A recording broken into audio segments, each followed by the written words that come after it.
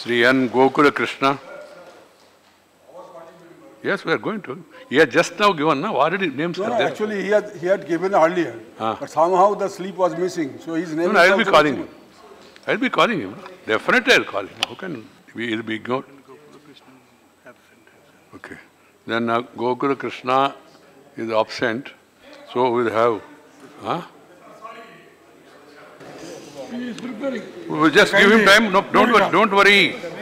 Don't worry, Sri Syed Hassan. No. Syed, Syed, uh, uh, Ahmad Hassan. Ahmad Hassan.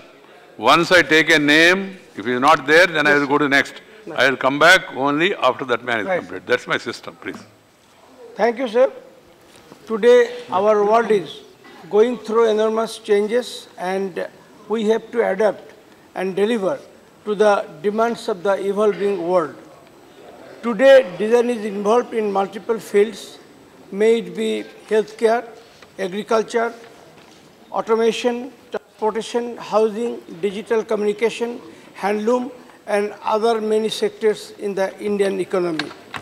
Sir हम लोगों को बहुत जल्दी हम सोचते हैं कि एक यूनिवर्सिटी का भी ज़रूरत पड़ेगा इस फ़ील्ड में The amendment to the declare the National Institute of Design at Ahmedabad is a welcome move. NID graduates have contributed to their success uh, to their success at various levels across diverse segments of the economy. Their works and ideas have been duly acknowledged nationally and internationally. NID has 95 memoranda of understanding with the best art and design schools in the world. There- Thus, the NID being a pioneer institute and deserves this standing in the educational field. Moreover, designating National Institute of Design in Andhra Pradesh, Madhya Pradesh, Assam, and Haryana as institution of national importance was a recommendation of the Standing Committee report which has now been incorporated in this bill.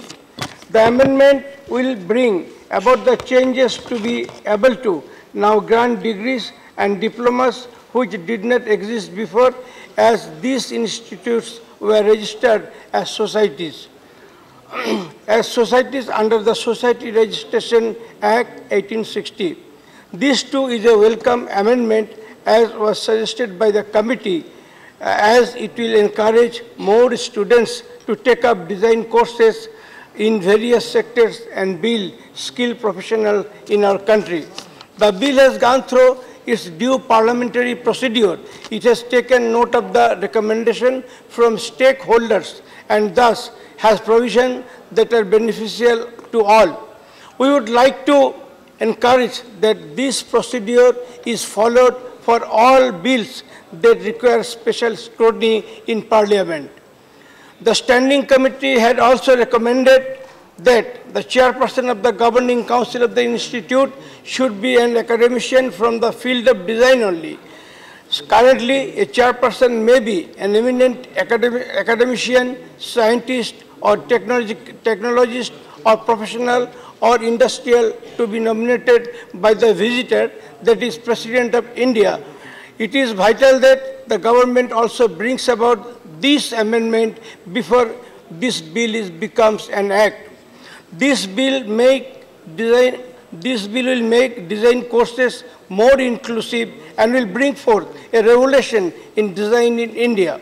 With the institutes receiving Please. the status, the rich culture and heritage of India, along with the modernization, will have a larger scope to flourish and create innovation. Thank you, sir. Thank you, Ahmad Hassan ji. Sri N. Gokula Krishna. Honorable Chairman, sir, the National Institute of Design Amendment Bill 2019, which seeks to declare four national institutes of design in Andhra Pradesh, Madhya Pradesh, Assam, Haryana as institutions of national importance. At present, these institutes are registered as societies under the Societies Registration Act 19 1860 and do not have the power to grant degrees and diplomas. By the proposed amendment, these four institutions will be granted the power to grant degrees or diplomas. This bill aims to bring the these four NIDs under the ambit of NID Act 2014 and also makes amendments to the Act so as to include consequential amendments considered necessary to rename NID Vijayawada as NID Amaravati and nomenclature of principal designer as equivalent to the position of professor. With the emerging of four NIDs as the institutes of national importance located in various places of the country would help to produce highly skilled manpower in design sector, which in turn will create job opportunities, both direct and indirect employment. It would also provide sustainable design, intervention for crafts, handlooms, rural technology, rural technology, small, medium and large scale enterprises and outreach programs for capacity, capability and institutional building. Sir, the National Institute of Design is internationally acclaimed as one of the finest educational and research institution for industrial, communication, textile, and IT integrated experiential design. It is also recognized by the Department of Science and Industrial Research, Government of India, as a scientific and industrial research organization. Sir, some important decisions have to be taken by the government to cater to the increasing demands of quality education in our country.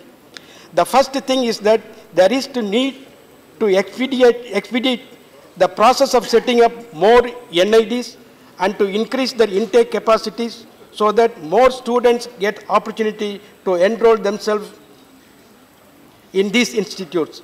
Sir, though we have 28 states and 9 union territories, we have very few national institute of, institute of design. By any stretch of reasonableness, each state should have at least one NID. It is surprising that Chennai, which is, more, which is the important city of South India, and Puducherry, an emerging educational hub of South India, and do not have, do not have a national institute of design. Therefore, the government of India should come forward to set up the National Institute of Design both in Puducherry and Chennai. Thank you, sir. Thank you. Now suppose you get only one, what do you prefer?